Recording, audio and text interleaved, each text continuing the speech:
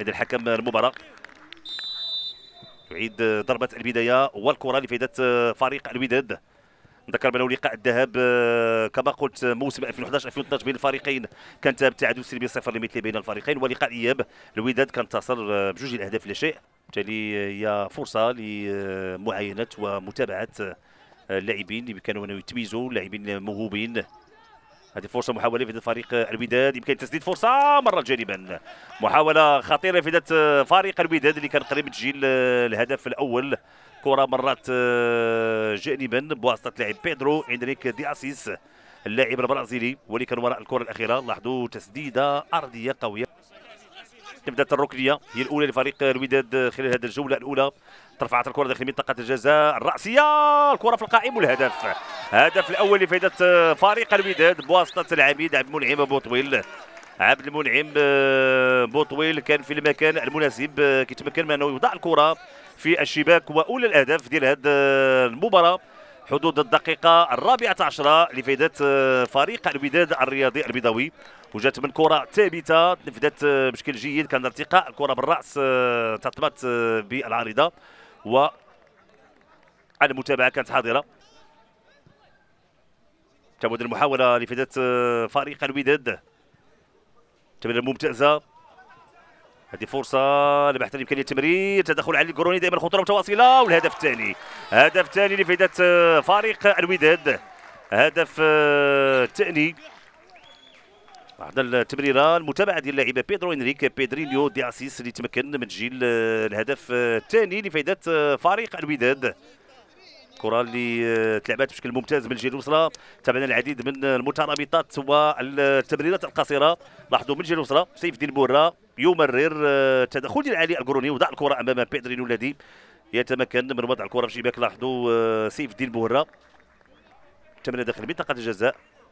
تدخل علي القروني ولكن المتابعة ديال البرازيلي بيدرينيو الذي يسجل الهدف الثاني لفائده فريق الوداد. فرحة كبيرة. كرة طويلة من زكريا موديان لتيمينو ميلولا. ميلولا خدا الكرة بشكل ممتاز بالكعب. طلب الكرة سانشيز ولكن تمكن إسماعيل بن خطيب. ميلولا. اللاعب بيدرينيو مسجل الهدف الثاني. ملعب بوطويل لسيف الدين بورا دي فرصة لفائدة فريق الوداد سيف الدين بورا. بورا شو يعمل بورا؟ دخول داخل منطقة جزاء تدخل الحكم لم يعلن شيء. كانت المطالبة بالخطأ وبضربة جزاء الحكم آه، لم يعلن عن أي شيء. ترجع كرة دائما آه، فريق الوداد إسماعيل بن خطيب. هذه محاولة نتابعوا تسديدة مشات فوق المرمى بواسطة لعيب بيدرينيو. كانت فرصة ومحاولة تابعنا الخطورة من سيف الدين بوهره ثم تسديدة بيدرينيو اللي مشات آه، فوق المرمى. الحكم كيتوجه الآن عند اللاعب سيف الدين بوهرة. أكيد غادي يكون آه، هناك حديث وهناك تشاور مع حكام الفار. نتابع هذه الفرصة وهذه اللقطة. يعني تابع الصورة وسيتابع اللقطة وتدخل تقنية الفار في الكرة الأخيرة. هل هناك ضربة جزاء لفائدة آه، فريق الوداد في هذه الدقائق الأخيرة؟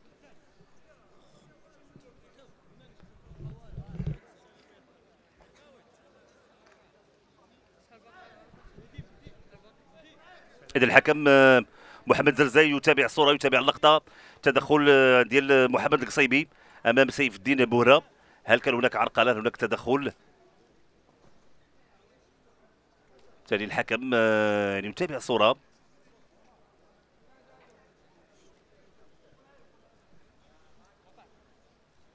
بالتالي إمكانية تكون ضربة جزائية. حاضرة الآن. الحكم يتأكد من اللقطة الأخيرة. كما قلت أول تدخل ديال آه، تقنية الفار وبالتالي الحكم آه، هو الآن اللي عنده كل الصلاحيات آه، من أجل إعلان عن ضربة جزاء أو أنه يطلب مواصلة اللقاء إذا سنتابع الآن قرار ديال الحكم ديال المباراة. إذا ضربة جزاء. ضربة جزاء لفائدة فريق الوداد. إذا التدخل اللي كان أمام سيف الدين بورا. كان هناك خطأ وهناك عرقلة. الحكم كيطلب اللاعبين آه، سواء ديال فريق الوداد وكذلك اللاعبين ديال فريق شباب مسيره أن يعطيو أن يخرجوا خارج مستطيل العمليات أرتور سونشيز وجري وجه الحارس علي القروني والهدف الثالث. هدف ثالث لفائدة آه، فريق الوداد بواسطة آه، أرتور سونشيز اللاعب البرازيلي الذي يتمكن من إضافة هدف ثالث. لفائدة فريق الوداد لاحظوا الفرحة الكبيرة لسونشيز لتيمينو مايلولا لباقي اللاعبين ديال فريق الوداد اللي كيبحثوا على كيد انه يرفعوا من آه، الثقة ومن آه، كيد المنسوب ديال المعنويات في هذه اللقاءات وفي هذه المباريات الخاصة بكأس التميز. والحكم يعلن نهاية هذا الشوط الأول بتقدم فريق الوداد ثلاثة أهداف لا شيء. المنعم بوطويل في حدود الدقيقة 14 ثم بعد ذلك بيدرينيو في حدود الدقيقة 40 وفي الوقت بدل الضائع يتمكن أرتي سونشيز من نقطة الجزاء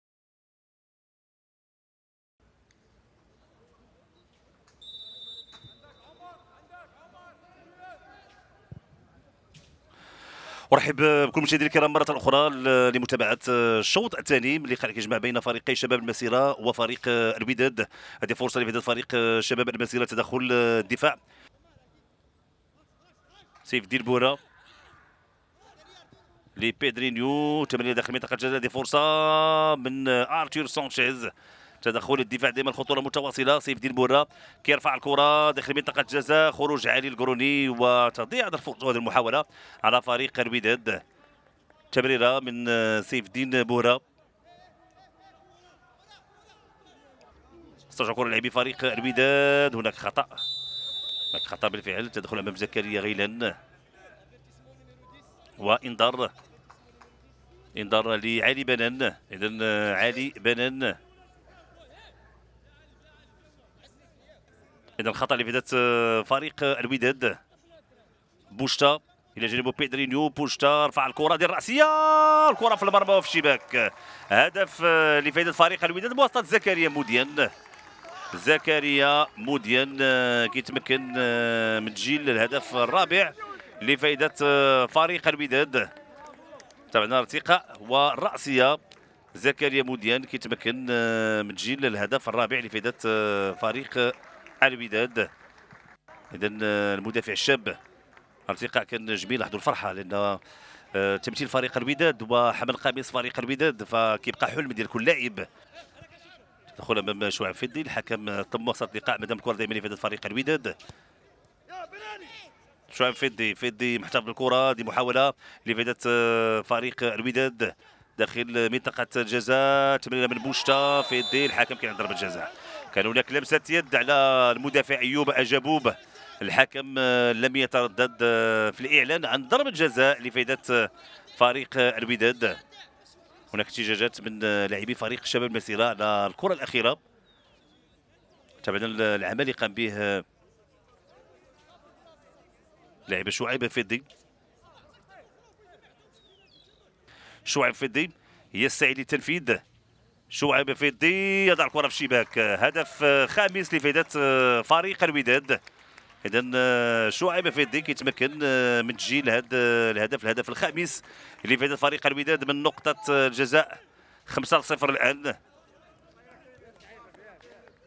لفائده فريق الوداد الرياضي البيضاوي.